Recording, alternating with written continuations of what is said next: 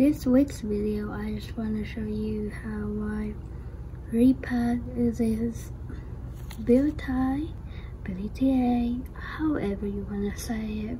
But first, before we get into repotting video, I would like to show you my new philodendron shirt from Tropical Narcotic. I just want to say that this t-shirt makes me feel so good about myself. I feel like I'm a total badass when I'm wearing it. Let's get to this repotting video now and I know that that's why you're here because you wanted to see me repot a billietiae and let's get to it.